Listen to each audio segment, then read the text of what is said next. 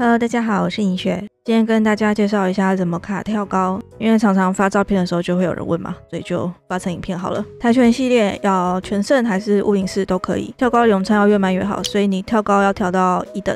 如果你身上有一些金永昌的装备，就拖一拖空装，直接空装比较快。然后我们会需要一只妖术念咒拆除，念咒拆除多人放要按 Shift 哦。好，我们就可以开始了。这只先跳高，妖术念拆。要在他咏唱完之前踩完哦，然后不要动，等一下下掉下来之后就会卡在这个跳高的动作，不要离开画面，它就一直会是长这样子。从别的地方过来的人看，它就会是正常的站着的样子，这样子斜线 B N G B N G，它可以转圈圈，很简单，对吧？